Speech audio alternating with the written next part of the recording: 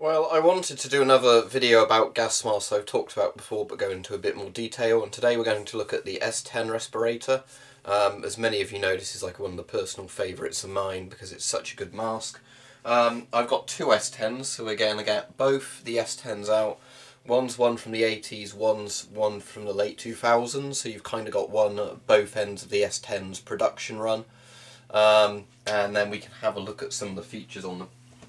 So, in no particular order, let's have a look. I think this is my old S10, because it looks a bit sort of more aged. And Avon 1987, so yeah, this is the old one. And we're going to get the new one out and then we'll talk about both of them. I also have some accessories for the S10 in here, so we're going to talk about those as well. So I'll put this bag down here for now. Put this S10 here and I'll hold them both up in a moment.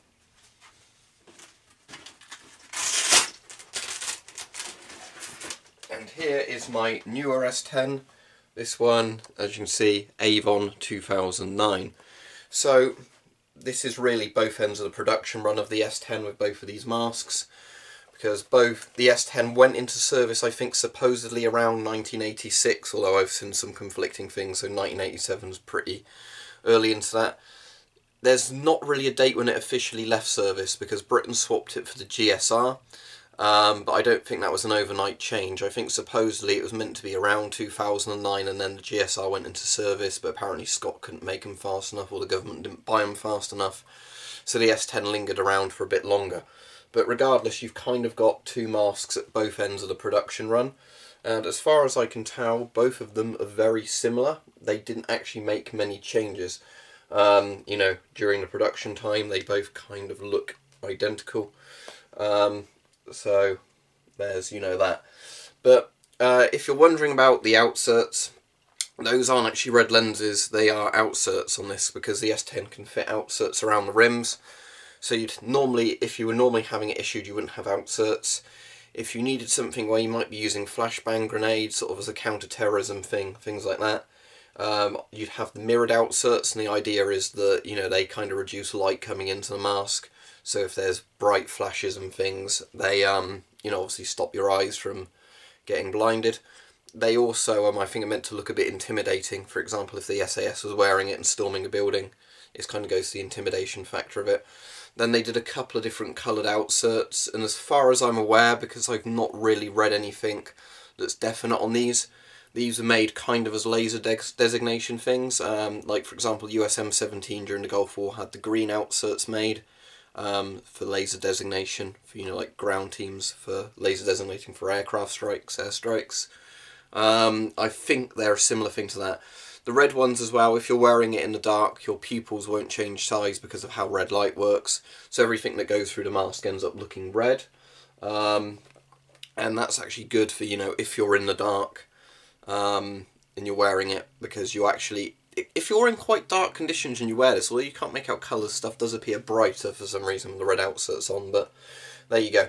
So, what makes the S10 so good? I'm going to put my new one down and look at the old one for a minute. As I said, they're both very similar. Very lightweight face mask. Um, I haven't actually weighed this, but this is going to be under 500 grams, I would imagine. It's really light, because uh, there are some gas masks that weigh almost 2 kilos. You've got your 40mm NATO intake on the left, on the other side you've got your secondary sort of exhale valve and voice diaphragm. One thing I'll point out with these is that they did S10s in both left and right handed shooter configuration so this bit just switched around. Some of the other Avon masks in the S10 family but not the S10 itself were designed so this could switch sides. Uh, you know, you take out a blanking plug, my CT12 does that but my FM12, FM12 doesn't. So it doesn't seem to be like every mask they did it on. Um, anyway, so that's what that is. You've got you know your secondary voice diaphragm there and your primary uh, in intake valve there. You've got a drinking tube in this mask. That's kept with this. So you basically pull this out, unravel that, uh, then you connect that to your bottle, hold the bottle vertically up. You can move that lever to get the straw into your mouth. And then you um, you know simply use gravity to feed the mask water. I can't demonstrate that because I don't have the um, canteen with a bottle cap that accepts that, but if I did I'd demonstrate that to you. Um, so you get a good field of view of this mask on, and obviously it's got your oral nasal cup on the inside, so it's not going to, you know, um, fog up too much when you're using it. Very comfortable mask. It's got rubber straps, but they are fairly comfortable. You adjust them by unclipping them, pulling them through as much as you want, then clipping them, so it will keep your size. They're also a bit stretchy as well, the straps themselves, so that makes taking it on and off easier. Um, this is the one I've got kind of configured for use. So I've cut the drinking tube in this one down a bit so it fits into my mouth better if I wanted to use it, but again I don't have the cap. Um, what I'm going to do is if I can pull this off for you here easily, I will show you the underside of this. There we go. Right, so the cap that's on the front of the S10 is this thing. This doesn't do much in itself, but what we have here is, I think they call it the voice trumpet. Your exhale valve is there, but what this does is the shape of it um, means that basically your exhale valve acts as a bit of an amplifier because it comes out into this section which kind of increases the volume of it. So that just literally clips back on the front. Everything on the S10 just clips and unclips. It's very easy. Same with the outserts.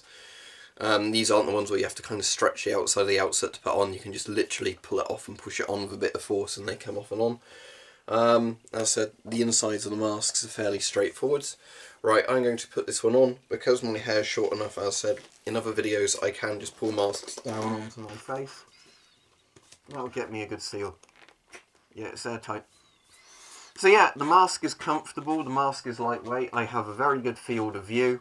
Uh, it does vibrate a little bit sometimes if there's not a filter in, but uh, other than that, because you can hear that the vibration stopped now, other than that, it's very good.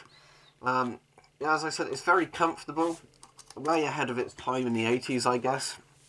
I think the S6 compared to the S10 kind of had more leaps forward, but the S10 is a really good design, it does everything well. So I'm just going to take this off now and we're going to have a look at some of the other accessories that this mask came with. What I have here is the radio thing. Um, basically how this works is this ends a microphone. You clip this on, I'll demonstrate this, where you have that kind of secondary exhale valve, voice diaphragm, whatever you want to call it there. This clips on here. There we go. You can position it however you want it and then you would connect this to your radio. And the idea is you have your radio on your um, sort of chest carrier or whatever, you plug that in, people can hear you really clearly because obviously the voice diaphragm is going straight into the microphone. Because people have complained with the S10 that yeah, it doesn't have really big proper voice diaphragms like the American masks. It didn't really need it because you'd either be talking into a radio directly attached to the mask or if you're close enough people can hear you fairly well because both of the voice diaphragms together, you know, work well. Yes, I suppose it would have been better with a big voice diaphragm on, but it doesn't hurt the mask, I think, in my opinion, because they kind of worked around it. So yeah, you'd have that plugged into your radio. And the other thing I have for it is the anti-flash hood, or whatever you want to call this. It's kind of like a balaclava for a gas mask. And the idea of these is that you could have this, I'm sure you've seen these um, worn by sort of special forces type guys you'd have this over the mask itself and what this does is it ends up um, you know if there's hot sparks and things from breaching charges or flashbangs it stops the mask setting fire. The mask shouldn't set fire anyway but what I understand is this is kind of a flame retardant material and that just helps as well. It also kind of adds to the intimidation factor so I'm going to try and fit that to the mask and then I can demonstrate it. Well, I've not got that configured completely right because it's not all that comfortable but there you can see I've got the filter on. I don't think I've quite, quite got an airtight seal now. Probably got to part the cloth into the actual head unit. Again, I'm sure if I wanted to I could take it off and try again, but this is just to give you an idea. But you'd have, obviously, your radio bit attached to that side that goes through the hood. You'd have your filter on that side that goes through the hood. You have your eyepieces visible. There's elastic there so they don't get in the way and yeah, everything works still with the mask.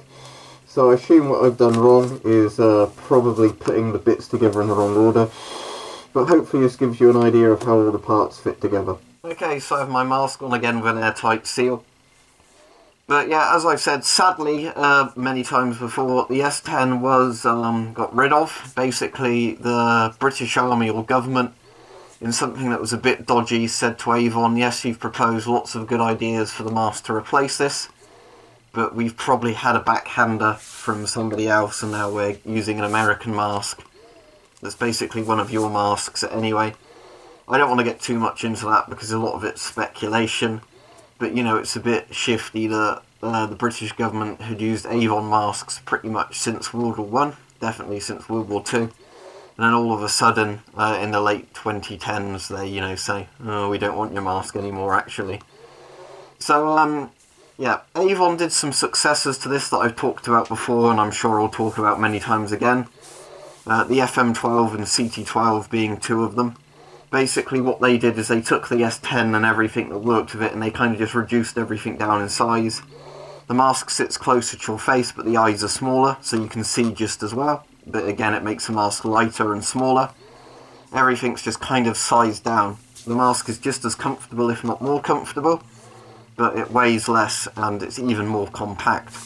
The ridges around the mask is so NBC hoods sit on the mask a bit better, but it's not really a needed feature. But there you go. The S10, definitely one of my favourite masks ever designed for when it came out in the 80s, yes, it was a very good design. It would take America quite a lot longer before they came out with something like the M40 in their, you know, service to actually make a good mask. I'd say the Israelis probably beat it by um, re- redesigning the German M65 as the Israeli M15 and making that a really practical mask, but for the most part, I think the S10 is one of the masks that really was ahead of its time for all the features it had, and it still holds up today a lot of nations have S10s and variants where they bought them from Britain or bought them from other countries.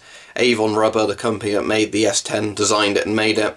They've got lots of successful masks they're still selling. Funnily enough, the Avon M50 is used now in US service. So Avon kind of got the last laugh on the British government, I think, when they were screwed over by them, because lots of other companies and uh, sorry, lots of other countries still buy Avon stuff. So Avon, you know, is still existing, thankfully. They're still designing lots of good protective gear. And, um, yeah, their masks still hold up, pretty much all of them, for the times they were designed, and they are all very good masks. Um, the, as far as I'm aware, the S10 is definitely designed by Avon. However, the S6, I've heard conflicting reports. Some saying Avon designed it, some saying Leyland Rubber designed it, and others saying that Porton Down and the Ministry of Defence designed it.